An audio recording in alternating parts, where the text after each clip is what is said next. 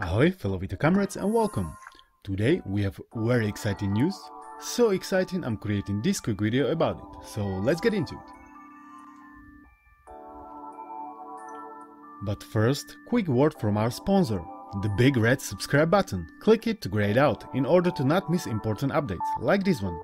So to the update, Yo-Yo Loader now features completely rebindable, rebindable? Yo-Yo Loader now features completely rebindable keyboard keys emulation through physical buttons, allowing a lot of games that were having issues with input to be now played correctly. Huge thanks to the Rinnegatamante for making it happen. This is exactly what we needed because as we all know, PS Vita physical controls are a pleasure to interact with. New database of community-made key maps for this feature has been also created. If you want to contribute, head over to the link down below. Now, how to make it work. Kato the Younger has made a guide on how to set it up. It's also down below.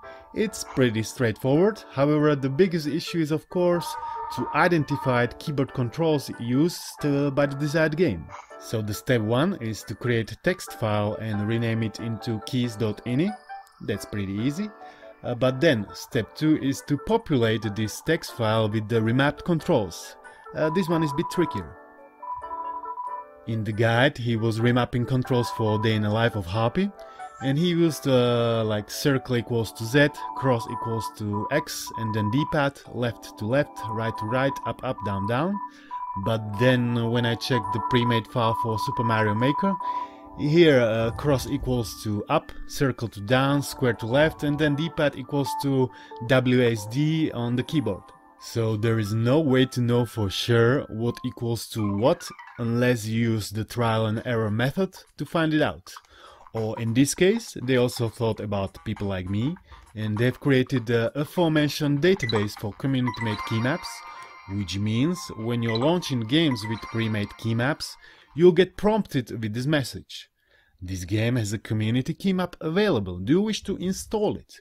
Then you simply press yes and job done. Physical controls are now working with the desired game. I've been trying it with Deltarune for Android and also with Super Mario Maker and both are working very well, no issues at all. Every day I'm impressed more and more by the sheer power that hides deep within the guts of the Yo Loader.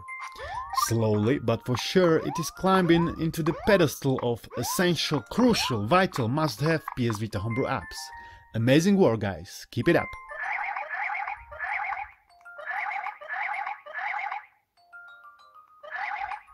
So in the end, what are my final thoughts? I'm absolutely fine with installing the keymaps from the database, New keymapping feature and database were launched just yesterday, but there are already keymaps available for like 9 games including Deltarune, Super Mario Maker, Anti-Drawing, Day in the Life of Happy, Curse of Ixios, etc. So I'll just wait for smarter guys to figure out and add more keymaps into the database, and in the meantime I can enjoy some Super Mario Maker with physical controls enabled. Happy days! Two thumbs up! Chuck approves. And that would be it for this quick video. Like, subscribe, it's for free. Check all the links down below. Support the channel via super thanks or affiliate links. Thanks for watching guys, and I'll see you in the next one. Au revoir.